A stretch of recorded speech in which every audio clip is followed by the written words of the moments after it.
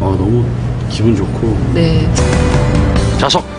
유준상은 국민 남편으로 등극, 시월드라는 신조어 탄생, 언제나 화제를 몰고 다녔던 넝쿨 땅. 그렇다면 배우들이 생각하는 최고의 일부는 어디였을까요? 저희가 예, 아이를 잃게 돼서 참 연기하기도 어, 좀 하기 싫은 그런 역할이죠. 그런 거는. 근데 예, 마음이 아팠어요. 제 뱃속에 아이가 죽었다는 말씀이세요? 시청자들의 마음을 울렸던 장면이죠. 많은 분들 이 장면 볼 때 아마 뭉클하셨을 겁니다. 저도 그랬어요. 어, 윤희가 어떻게 된 줄 알고 안았던 부분 그리고 마지막 윤희를 위해서 이벤트 했던 부분들 우리 주부 팬들을 사로잡았던 장면이죠. 더 열심히 많은 가슴 벅차게. 그래요. 사랑하겠습니다. 유독 개성 만점의 사랑스러운 캐릭터가 많았던 드라마 넝쿨째 굴러온 당신. 다른 인물들을 제치고 넝쿨 땅의 최고의 일본 주인공은 상큼 발랄함으로 시청자들의 눈길을 사로잡았던 말뚝 해관 커플이 차지했습니다.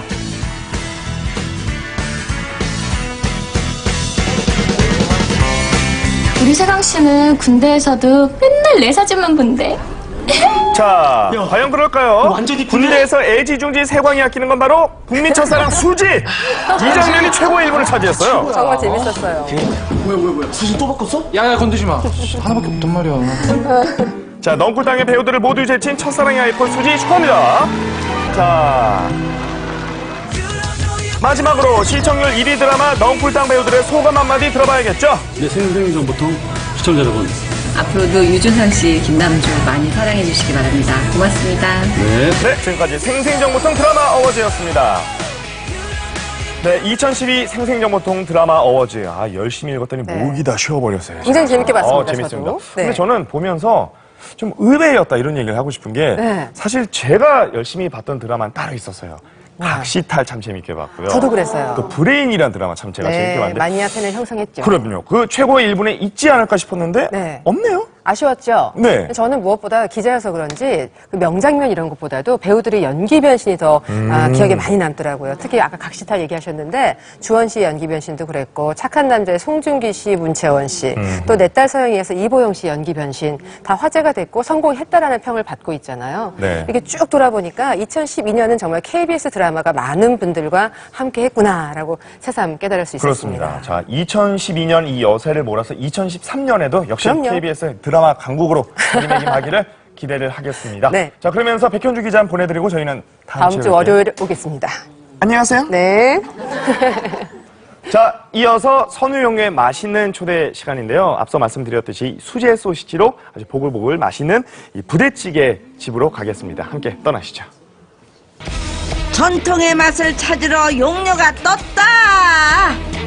용녀는 먹을 복 터지고 원주는 복장만 터지는 맛있는 초대 오늘도 함께 맛보러 갑니다. 날씨도 추운데 우리 용녀는 어디 갔나? 어? 왔냐? 있어봐 내가 혼내줄게. 용녀야, 용녀야. 아니 저것이 늦은지 양심도 없어. 혼자 뭘 먹고 있어? 가시면 미리 드시네요. 배고파서. 아, 너 이런 거 드시고 계시면 어떡해.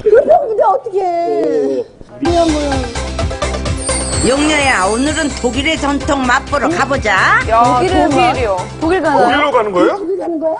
가서 뭐 준비 안 했어도 우리 공항으로 가는 거지? 얼른 가자, 가자, 가자, 가자.